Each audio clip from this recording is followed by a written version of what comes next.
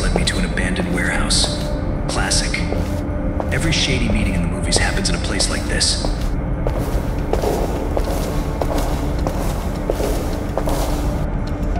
You called? Maddox, that signal you intercepted is part of something bigger. It's linked to a covert operation that very few know about. What's the operation? I don't have all the details. Your mission is to find out more. There's a facility nearby. You need to get inside and gather any intel you can.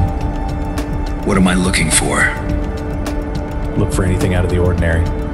Codes, files, anything that seems off. Be careful, Maddox. This isn't just any black op. They're watching. Why me?